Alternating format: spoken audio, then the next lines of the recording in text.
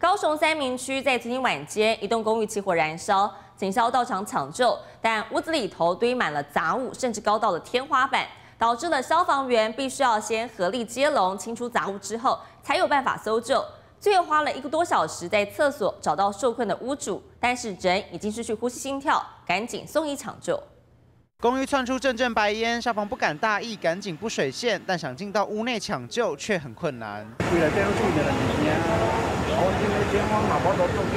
女屋主疑似就受困在内，但里面满是堆叠杂物，消防员只好排排站，土法炼钢，合力将物品全都搬出来。从他家搬下来的杂物里面还有，屋内堆满各式各样杂物，甚至高到天花板，抢救困难。虽然警消半小时就将火势扑灭，但迟迟没有找到报案的独居女屋主。最后耗费快一小时清出空间后，才发现人就受困浴室，已经失去呼吸心跳，赶紧送医抢救。里面蹲了太多东西了，真的太多。对，所以说要先把东西挪出来。拨拨打他电话无法取得联系啊，所以说我。